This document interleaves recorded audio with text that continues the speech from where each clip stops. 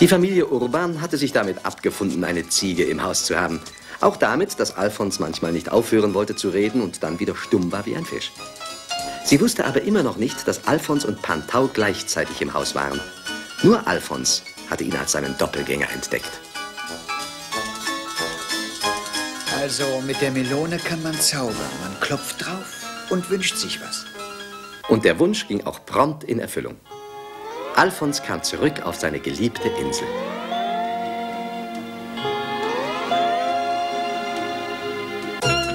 Inzwischen wurde der arme Pantau überall für jemand gehalten, der er gar nicht war. Und dabei kam er von einer Schwierigkeit in die andere. Der brave Herr Urban hatte seinem vermeintlichen Bruder Arbeit in der Molkerei verschaffen wollen. Und das kam dabei heraus. Um ehrlich zu sein, es war der schwärzeste beziehungsweise der rosigste Tag seines Lebens.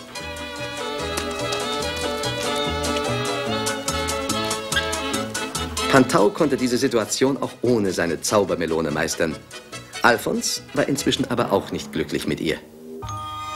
Wir haben uns gar nicht verabschiedet. Was machen die wohl zu Hause? Schau mich nicht so an. Du wolltest auf die Insel? Gut, jetzt sind wir da. Hätte er gewusst, wohin er sich zurücksehnte, er hätte es sich noch einmal überlegt. Pantau legte für den leidgeprüften Urban noch ein gutes Wort ein und eilte nach Hause. Man erwartete ihn dort. Ich hoffe, dass es keiner hier gemerkt hat. Dass niemand weiß, dass du und ich. Oder doch? Danke. Und so kehrte Alfons erleichtert ins normale Leben zurück.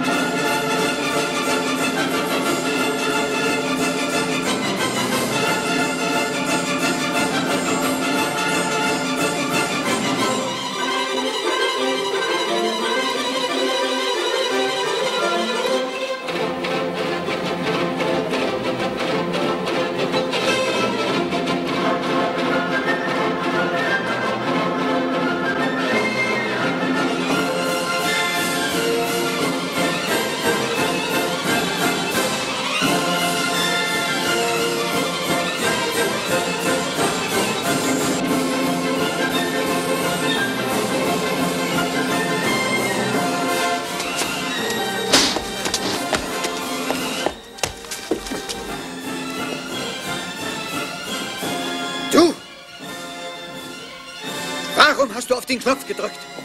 Warum musstest du auf den Knopf drücken? Brennt es? Nein, es brennt nicht. Wenn du dich nicht eingemischt hättest, hätten die mich nicht gefeuert. So ein schöner Posten war das. Platzanweiser, jeden Tag im Theater. Halt dich daraus. Ich verdiene mein Brot. Ich komme allein zurecht.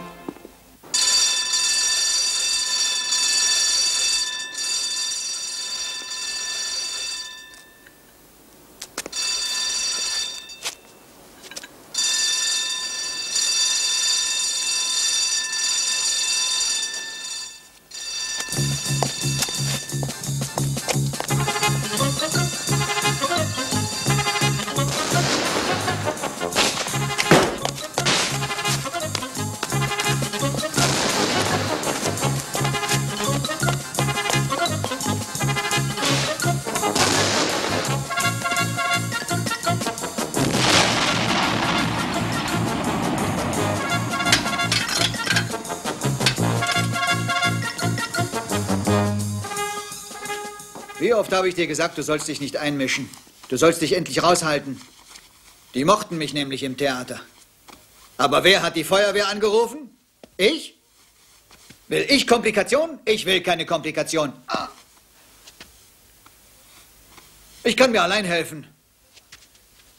Also bitte, ich muss zugeben, Straßenbahn und Chemie sind nicht gerade meine Stärke. Das Haus sollte sowieso abgerissen werden, weil dort die U-Bahn gebaut wird. Sag mal, wieso schaust du eigentlich so traurig? Hast du das nötig? Ausgerechnet du? Eins ist klar. Einer ist dir zu viel. Er steht dem anderen im Weg und ich bin es jedenfalls nicht. Ich bin hier zu Hause. Hier kann man sich sowieso kaum rühren.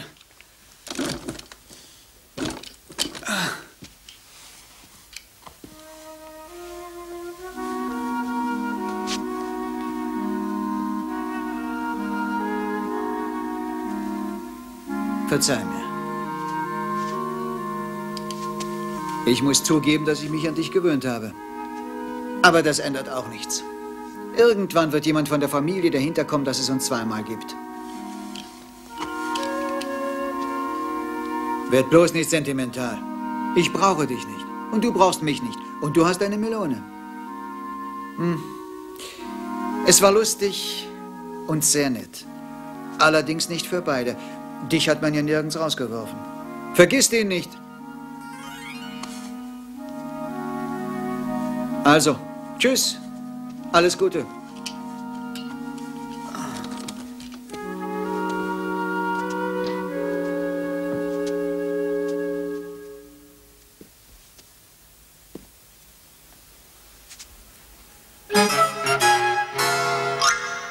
Also, Katja, wo bleibst du? Los, los, los, los!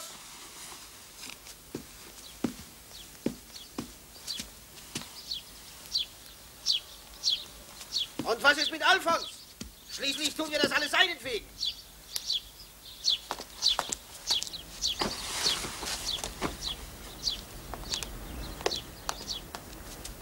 Den Ball auch? Aber natürlich, Mami, natürlich. Hast du denn immer noch nicht kapiert, dass alles ganz harmlos aussehen muss? Ja. Einfach wie ein lustiger Familienausflug. Was macht der Opa? Er ahnt doch wohl nichts. Nein, er führt wieder Selbstgespräche. Ei, schon ja, wieder? als wären sie zu zweit. Ja. Ich habe gehört, wie er gesagt hatte, einer steht hier dem anderen im Weg und ich bin es aber nicht. Ich bin hier zu Hause. Josef, weißt du, wie mir zumute war bei auf. diesem zu Hause und wir wollen ihn jetzt... Wir wollen zwar, ja. aber in seinem Interesse. Es wird alles so klappen, wie wir es uns vorstellen. Ich weiß gar nicht, warum du herummaust. Also passt auf, Kinder. Wir kommen also zu der Abzweigung, klar? Bei der Anstalt. Ja. Äh, Katja schaut wie zufällig auf die Tafel und sagt, seht mal da, wisst ihr, wer da arbeitet, sagt sie. Da arbeitet Onkel Kalina. Dr. Wauber, du sollst Kalina, hat Papa. Ja, gesagt. er ist mit uns verwandt und gibt uns seinen Rat. Und außerdem ist er schließlich Arzt. So bleibt die Sache unter uns. Ich gehe aber nicht mit. Ich will nicht, dass Alfons denkt, dass ausgerechnet ich ihn. Na, Das ist doch... Was fällt euch eigentlich... Ich verstehe euch nicht. Das Also lasse ich mir. Aber schön, Mami, wie Sie wollen. Wir werden doch niemand bitten. Ich lasse mir das alles einfallen. Und wer hilft mir von den Kindern? Natürlich keiner. Dann macht es eben Mami. Sie sagt wie zufällig, schau doch mal, wer da arbeitet. Euer Onkel Wauwau. Kalina. Kalina, natürlich. Wie der sich freuen wird, dass wir ihn alle besuchen. Wiederhol das bitte jetzt mal, Mami. Ähm, Aber warum soll denn gerade ich? wer denn? Na? Na? Ach ja. Opa könnte das unangenehm sein, aber Ja. immerhin ist er der Älteste von uns. Er schaut wie zufällig auf die Tafel. Nein, ich nicht. Das kannst du von mir nicht Warum verlangen. denn nicht? Du schaust wie Nein, zufällig? am allerbesten wäre, wenn du es selbst sagen würdest. Ich? Schließlich und endlich hast du gesagt, er müsste sich sofort eine Arbeit suchen. Hätte er ein bisschen Zeit Ja. gehabt, sich einzugewöhnen, dann vier Ja. Jahre auf einer Vier Insel. Jahre auf einer Insel, großartig. Und Ja. dann fünf Stellungen in einer Woche. Was? Ist das nichts? Die Schäden gehen in die Zehntausende. Hör mal, was die Versicherungen sagen. Die schmeißen ihn raus, Opa. Die Gewerkschaft distanziert sich. Nur einer, der nicht richtig im Kopf ist. Einer, der, einer, der... Also, Mami, du... Schnell, Kinder. Die Sachen ins Auto tragen. Die Sonne lacht. Alfons, wir machen einen Ausflug. Ein bisschen Ozon. Wow, wow. Schnappen. Sonne, Wasser, Luft. Ein gesunder Geist in einem gesunden Körper. Eichhörnchen, Vögel zwitschern. Ich wollte nur sagen, dass nicht immer alles gleich klappen kann. Es ist schwierig, die richtige Stellung zu finden. Aber jetzt habe ich was gefunden. Am Montag fange ich als Fensterputzer an einem Hochhaus an. In solchen Höhen zu sein, war immer mein Wunsch. Fahren wir, fahren wir. Alfons, ein Ballon?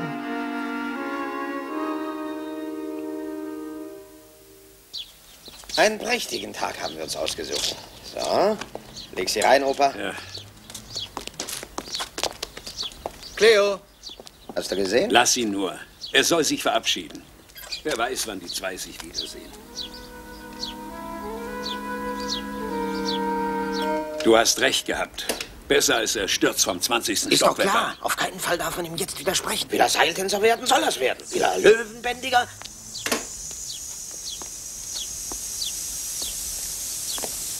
Du bist wohl verrückt geworden. Wir wollen mit Onkel Alfons wegfahren und du... Weg da. Was sucht er denn? wo bist du? Wo bist du? Du kannst mich doch jetzt nicht im Stich lassen. Dass du mir hier im Weg bist, habe ich wirklich nur im Spaß gemeint. Ah,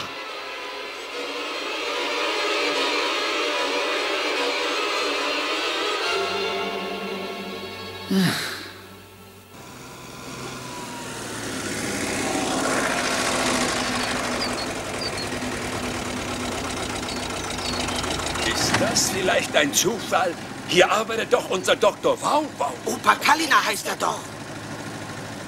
Der wird sich aber Der wird freuen. sich aber freuen.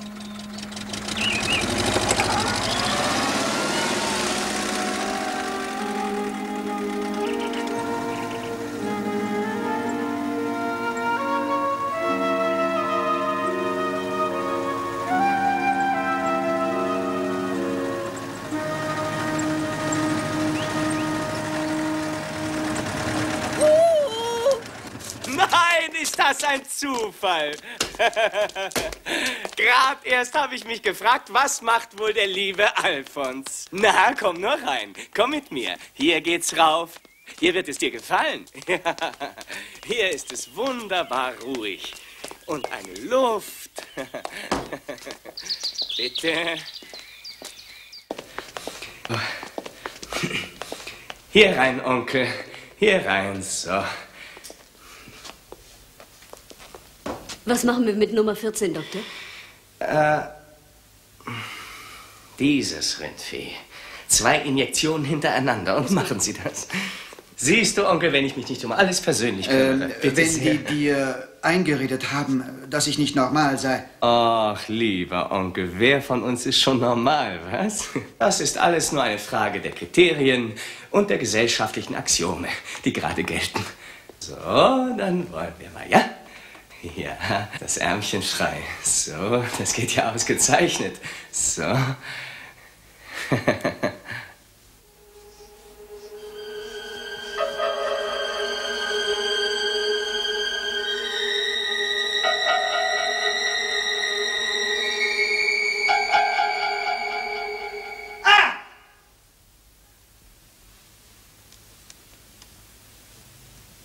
Nehmen wir einmal ein scheinbar so ruhiges Tier, wie zum Beispiel, wie zum Beispiel die Schildkröte. Eine Klimaveränderung, schon ist die Neurose da. Na, und das ist auch dein Problem, lieber Onkel, ein Robinson-Komplex. Und ein ständiger pyromanischer Trieb, der sich nur hin und wieder äußert. Aber es ist ganz klar, dass er als Motiv herangezogen werden muss, wenn man sich überlegt, warum du das Theatergebäude in Brand gesteckt hast. Aber ich habe doch nur- bitte dich. Und dann Dieser geradezu krankhafte Veränderungstrieb. Fünf Arbeitsplätze in einer Woche? Nur weil ich nicht will. Nein, nein, ich bin da doch ganz deiner Meinung. Letzten Endes bin ich, weißt du, ja auch so. Mein Leben lang wollte ich mich der Psychiatrie widmen. Aber mein Vater verbot es. Ich habe mich dem gefügt und bedauere es nicht. Eine wundervolle Aufgabe. Vertraue dich mir ruhig an, Onkel. Wenn du wüsstest, wie viele Lebewesen ich gerettet habe. Nur höchst selten musste eins geschlachtet werden. Leute zu kurieren ist einfach, aber die stumme Kreatur voller Jammer, die einem so aus still ergebenen Augen ansieht, das. Ja.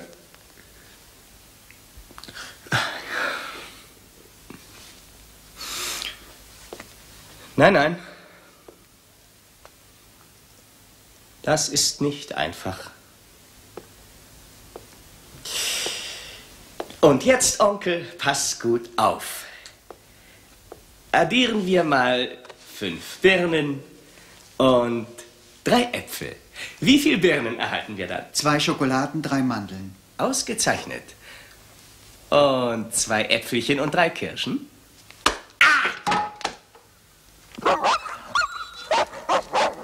Astor, Bella, bei Fuß! Als ob ihr noch nie ein Auto gesehen hättet.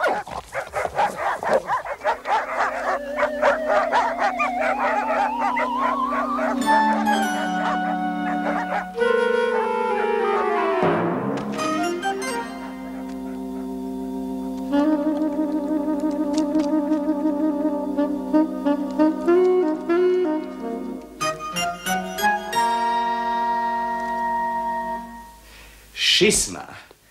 Schisma ist äh, ein Wort aus dem Griechischen, wie du bestimmt wissen dürftest, lieber Onkel. Es ist in der Musik das Verhältnis zwischen einer reinen und einer temperierten Quinte. Nein. Also, das ist ein Schisma. Sehr viel häufiger wird das Wort gebraucht, wenn man, äh, wie soll ich sagen, eine Spaltung meint, eine Zersetzung, eine Verdoppelung. Und darum handelt es sich bei uns. Ah, lass dich von ihm nicht stören. Nicht wahr, Richard? Das ist mein größtes Experiment. Mein Richard, verstehst du, die Wissenschaft experimentiert doch heutzutage ausschließlich mit exotischen Tieren. Keiner stellt sich die Frage, wie lange lebt ein gewöhnliches Schwein unter optimalen Bedingungen. Ja. Ungefährdet von den Metzgern. Zehn Jahre? 20? 100? Komm her, Richard, gib Pfötchen. Komm her, komm. Komm, komm her. Er geniert sich schrecklich. Komm her, lauf doch nicht weg. Zeig dich dem Onkel, komm schon. Ja, ja, ja, ja, ja. So.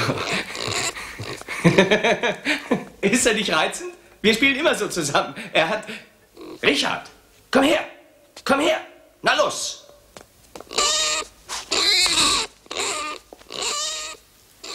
Helene, Vater, setzt euch wieder, also kommt. Lass mich mal. Verabschiede dich jetzt schön, Richard. So, geh jetzt. Bye, bye, bye, bye.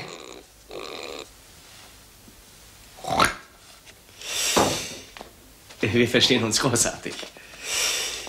Wo waren wir stehen geblieben? Ach, die Schizophrenie. Schizophrenie. Früher hieß sie Dementia praecox, eine verhältnismäßig häufige Erkrankung mit typischen Symptomen. Der Kranke verliert plötzlich das Interesse an seiner Umwelt, an seiner gesellschaftlichen Stellung, an seiner Familie und an seinem Heim. Und flüchtet in die Welt der Fantasie und des Traums. Und das führt später zu einer Persönlichkeitsspaltung. Du sprichst an bestimmten Tagen überhaupt nichts, lieber Onkel, und an anderen wiederum bist du äußerst gesprächig. Als würdest du aus zwei Personen bestehen. Und hier liegt der Schlüssel zu unserem Problem. Definitiv ausschließen können wir eine Hebephrene wie auch eine Paranoide. Also konzentrieren wir uns auf eine katatonische Schizophrenie. Sie macht sich bemerkbar durch Sprachstörungen, äh, Erstarrung oder das Gegenteil, einen bizarren Bewegungsdrang. Verstehst du? Nicht. Ja. Wie könnte ich dir das anschaulich erklären? Hast du nicht manchmal das Gefühl von einer gewissen Spaltung? Oder hast du den Eindruck, dass dein eigenes Spiegelbild sozusagen ein Eigenleben führt, sich von dir loslöst, sich selbstständig macht? Hast du überhaupt nie das Gefühl, du seist zwei? Äh.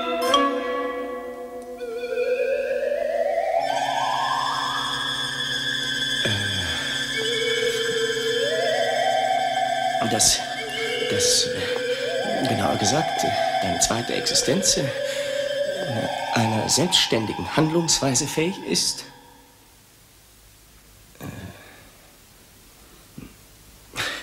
Äh, verzeih bitte, lieber Onkel. Ich habe ein wenig zu viel. Äh, naja, dieser gestrige Abend. Ich habe eben nicht genug geschlafen. Und mein diesjähriger Urlaub hat auch nicht gerade viel getaugt. Äh, wo blieben wir stehen? Definitiv eliminiert haben wir die hebephrene Schizophrenie und die Paranoide und konzentrierten uns auf die katatonische Schizophrenie. Sie macht sich bemerkbar durch Sprachstörungen, Erstarrung. Oder das Gegenteil, einen bizarren Bewegungsdrang. Ausgezeichnet, absolut richtig. Wir kamen also. Einem gewissen Gefühl der Persönlichkeitsspaltung. Wenn das eigene Spiegelbild sich von mir loslöst, sich selbstständig macht, sodass ich gleichzeitig hier und dort sein kann. Ja, bravo! Hebe ich also in meinen beiden Ichs die Hand, so hebe ich sie hier und dort. Hier und dort. Ich muss es aber auch nicht. Wieso auch, wenn ich nicht bin? Ich bin ja nur in meiner Vorstellung. Hier und dort. Wer denn? Wo denn?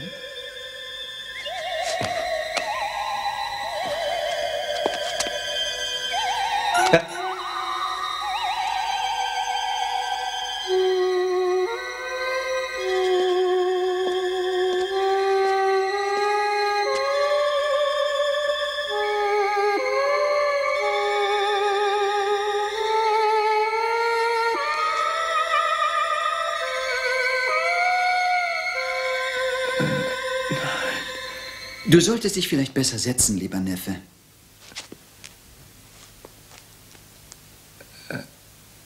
Äh, nein.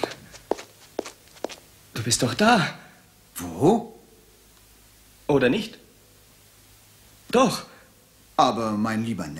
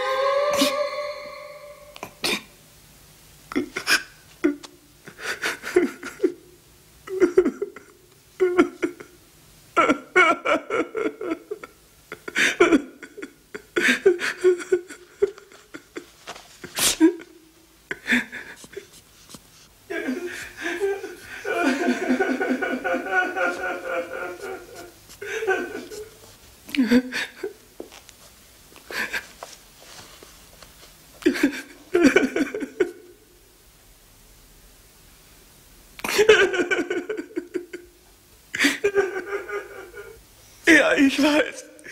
Er ist ganz winzig. Er ist ganz besonders winzig. Nein, noch winziger. So winzig wie ein Zwerg. Vielleicht hat er sich hierher verirrt, auf der Suche nach Schneewittchen. Hoffen wir, dass er es findet. Ja.